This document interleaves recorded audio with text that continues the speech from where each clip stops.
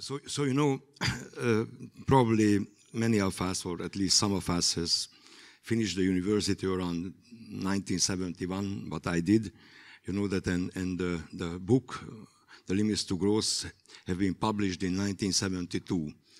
This, this was the Stockholm conference, you know that, and, and the people made an estimation for the future, you know that, and you see that that the, the, the, population growing rapidly, you know, that the pollution growing rapidly, the natural resources, you know, that we are depleting, it will be no food and anything. So basically they made an estimation for the year 2025.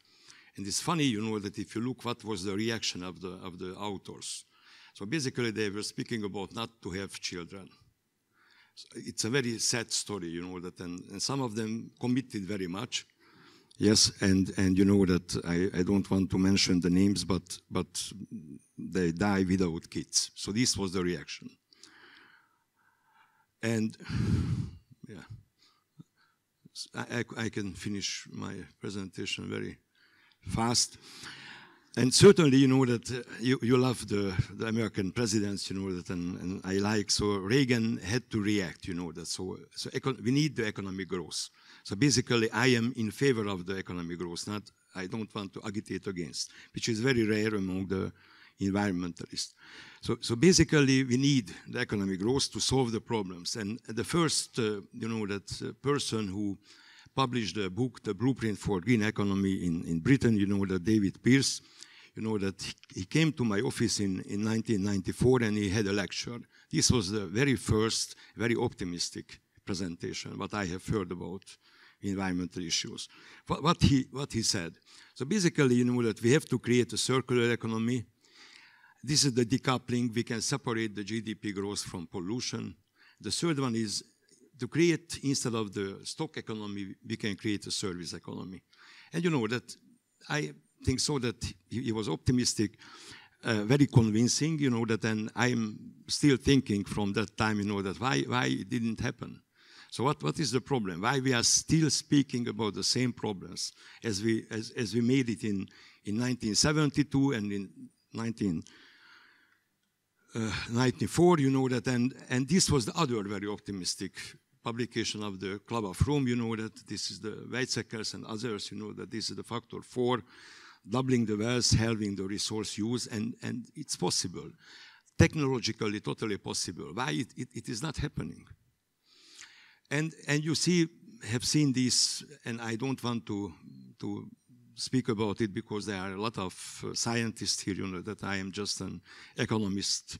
Meanwhile, I used to be a chemist, so I, I remember for something.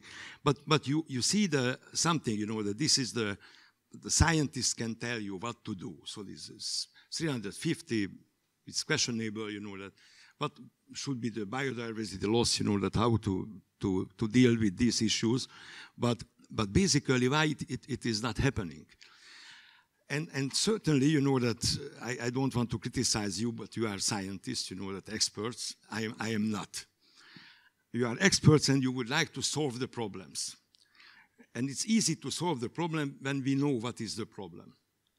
When we know what is the problem, we are gathering data, we are analyzing the data, we formulate a solution and implement the solution. We solve the problem. So we need a bigger motorway because the traffic is too big. So it's easy to, easy to make it. And we have experts for that. I, I love this because these two guys published an article in 1973. So I just finished the university, you know, that the Club of Rome published the first limits to growth. They published an article, you know, that in 1973. So these are very old knowledge why we are not discovering what they are telling us.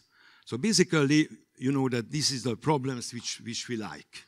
We can define the problem, you know that, and in the end we can make it, you know that, and we are happy to evaluate that we solved the problem. Unfortunately, the social problems are wicked. What does it mean, wicked? It means that any designer social planner start to do something, you know, that they are ending with totally different stories. And what is even worse, you know, that this oscillation, they never meet with each other. So who started, you know, that will finish somehow, maybe that they will lose their job, maybe they don't have enough time, they don't have money for it, you know, but they, they, they never, the convergence is missing from these kind of, of problems. So what is the problem? Basically, the, the wicked problems means there is no definitive formulation of the wicked problem. We don't know what is the problem. So in Hungary, we have the gypsy patients, you know, what is the problem? They are not educated, they are having too many kids, they are, you know, the starving poverty. What is the problem? They are segregated, you know, that what, what is the problem? If a sociologist would start to solve the problem, it's a totally different approach. An engineer will think about that we need to build an infra infrastructure there, you know, that, and, and economists would say the same. And others would, ah, we need some social workers who will help them. What is the problem? How, how can, we can define the problem? And every solution is a one-shot operation. So you are, you are, doing something, you know, that and unfortunately the result is there. You are changing something. You, you, you cannot leave them without, you know, that the solution you, you, you had it, maybe it was good, maybe it was, it was bad, you know that, but you changed the word already, and you should start to do again something. And the planner has no right to be wrong. Basically, we love to, to tell to the politicians, to the scientists, to anybody that you are, you are not clever enough, you are stupid, you are corrupt, corrupt, you know, that we are criticizing them. But basically, we never, never ready to, to believe that even though they did the best what they were able to do, you know, that still, still we cannot say that this is the solution, this is the end of the story. They stop it, probably they lost the, the uh, job or, or these kind of things can happen. Almost all, all of, the, of the development goals are, are wicked problems. We, we had the eighth one, you know, that we were not able to, to to solve them. We have the 17 one. You, you can say that it's well defined, you know, that because there is about 200 something subtitles, you know, that it's not well defined because, because if I read them, I will understand differently. If you will read it, you will understand differently. Even those who, who has written it, they know that they had to make the compromise. What, what are the problems? What does it mean, no poverty? In, in Hungary, some sociologists would say if you don't have a, a a car, a color television, and, and you are not able to, to have a newspaper subscription, that you are poor. Okay? And, and some people would say, no, no, you are not poor, you know, that you are, you, you are doing it with intention. You don't want to have a television. You don't want to have a car. I am not poor. Why they would think so that I am poor? Okay, so how, how to define this is, is difficult. And and certainly, you know, the problem that, that the, you, you see the, the climate change is not red anymore, it's only yellow, which means that we have some hope. It's not, not red. But basically, the problem is what, is what is the reason of the climate change? We are consuming too much, then we have to change our consumption patterns. Maybe not. We don't have the, the global governance. The Chinese, you know, that are Indian would like to follow the Americans, you know, that which is impossible. So America are not ready to commit if the Chinese will not commit. So no global governance. This is the problem. And, and some president, you know, that would say that this is the much ado about nothing. So it means that there is not existent, even it is exist, we can do nothing, you know, that if we are doing something, the influence will be marginal. So it means that even the global, the, the climate change, where we have a lot of business case. So you isolate your housing, you know that you are using the alternative fuels, you know that you can, you can have a huge impact and you can make a big business. But still, you know, still, different planners will, will, will, end with different solutions. And and you know that if I go back to the, to the limits to, to growth, the people didn't want to get kids. It's very easy for, for any agencies, you know, that would, they, they would say the problem is we are not able to, to, to satisfy this or, or to, to fulfill these uh, goals because of the overpopulation. And, and you can, I am a, I am a uh, economist, you know that. And so if, if you have some dots here and some dots here, you know that you can make a correlation. And if you are stupid enough, you believe that you are right. So, certainly you are not right. So it doesn't mean that because here more people, you know, that they are further from the goals because of the, of the many kids. They have many kids because they are poor. They don't have education. And, and certainly it's a problem. But, but any graph is, is misleading. this other is probably the same, or maybe it's true, but it's very funny. Probably the American would not like that, that the US has more social problems than anybody else. I, I can criticize Hungary, you know, that we, we have enough social problems, you know, that you, you can make any kind of correlation. So it means that whether, whether the overpopulation or the income inequality is a real reason behind.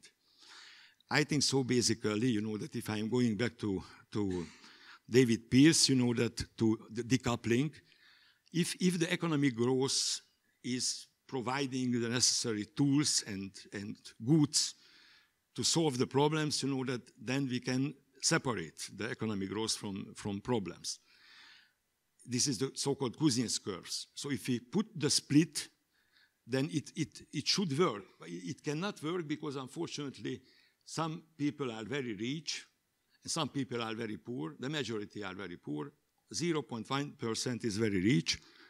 And that's why you know that we, we are never achieving this. If I would ask you what, what does it mean, democracy, I think so that many of you, even the social scientists, would not tell me that the democracy means not too unequally distributed the, the wealth. Everybody would speak about. We, we can speak freely, you know, that we can criticize the government, they will not arrest us, we can, so we, we can blah, blah, blah, blah, blah, blah. But nobody would say that the, the not too uneven income distribution, as, as this philosopher, you know, that said in the a couple of hundred years ago. Piketty, you know, that published a book, you know, that and uh, basically the facts that in 1980, in 1980, just in 1980, okay, basically the, the poorer people, you know, that their income grows faster. And those who used to be rich, their income was not so fast growing. But it's totally changed in, in, 19, in, in 2014. The, the 0.1% of the population's income is growing, you know, that like crazy. It's, it's not double digits, you know, that probably uh, Mr. Chernay would be, could, could help me because the terra, terra something, you know, that who knows. But it's crazy, it's crazy. So just the opposite is, is, is going on. So you see that basically if, if the, the return in, in the investment, you know, that's growing with about 6%, and, and basically the, the economic economy is growing only about 1.5 or 2 percent. You know that it means that these these two curves are crossing each other. So those who are rich will be very rich, those who are poor will be very poor, and this this will be the situation. Certainly, Piketty is a, is a Marxist, you know, because he is telling the truth, and easy to say, and you don't need to deal with the fact, is it true or not? It's true, but he's a Marxist. I, I love this guy. But, but, but what, is, what is bad? You know, that if you, if you look the this uh, uh, big democracy, China, you know that they are, at least they are, they are, in their case, you know that the income distribution is more even. If you look the, the we, we are here somewhere together with the, with the US and Germany and the others, the middle class, in our case, you know that are, are not getting more. So we are not solving the problem basically. We are not able to, to separate the economic growth from the problems because, because the middle class is going down. And this is fact. We, are, we call this the elephant curve, you know that, and, and unfortunately, only the blooming elite is, is, you know, that this is the last 1% which will be richer. So the bad news, the bad news that the population is growing, but the economy is growing faster, much faster. So the per capita income is growing much faster than the population. So it's not true that we are not able to, to uh, finance the so-called welfare states. It's a bullshit of the European Union and, and the whole, you know, that guys, Harvard and others, you know, that, and it's, it's not true. In, in, the European Union from 1995 till 2013, it's almost doubled. Even in Hungary, it be, became three times higher. So we could finance if we, if we would like to finance. And, and certainly, you know that I love uh, Stiglitz. You know that he's speaking about that the top 1% have to the best houses and everything, you know that, but, but they are not able to learn. That have to, they have to live together with the 99% who are poor. They have to live together. There is a Hungarian academician, I will not uh, mention his name, you know that he said that it's, it's uh, very dangerous to criticize the rich. Yes, it's very dangerous, you know. Yeah, I think so that, that Stiglitz is right. It's very dangerous not to understand that you have to live together with the 99%.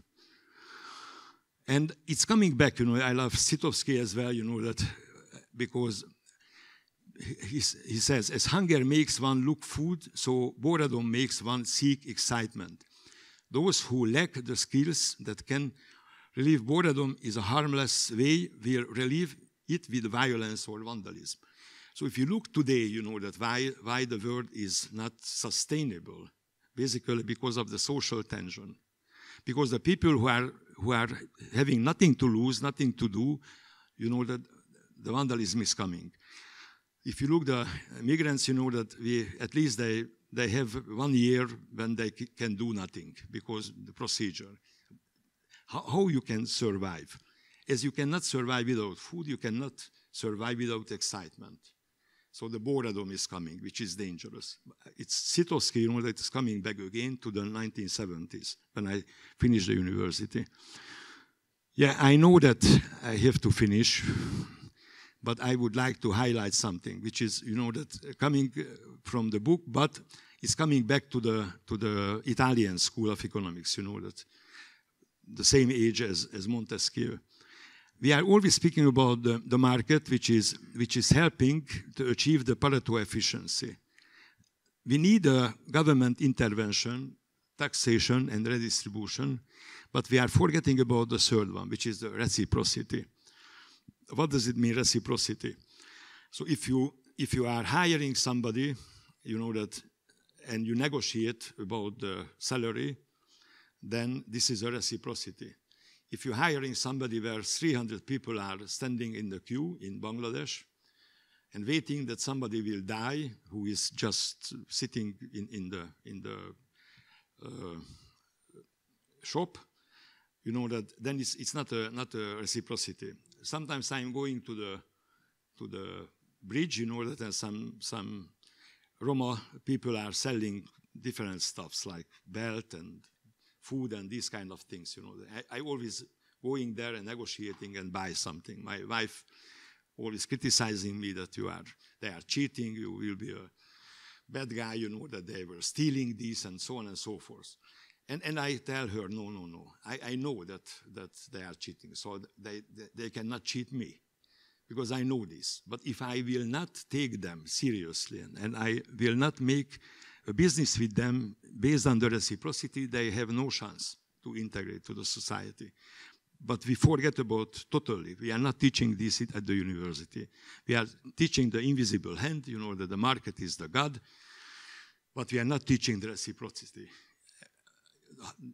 I, Michael Porter would say, you know, that why pay more? Why pay more? if, if they are ready to do the job for 50 cents, why pay more? Be, because this is missing the reciprocity. And this is a ingredients of the, of the capitalism. And I will finish this, and I hope so that I was quite grateful according to the time, yes? So thank you for